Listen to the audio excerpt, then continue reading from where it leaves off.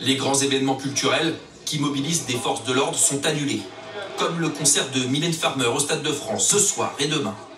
Les fans, qui attendaient déjà depuis plusieurs heures, priaient de rentrer chez eux par la police.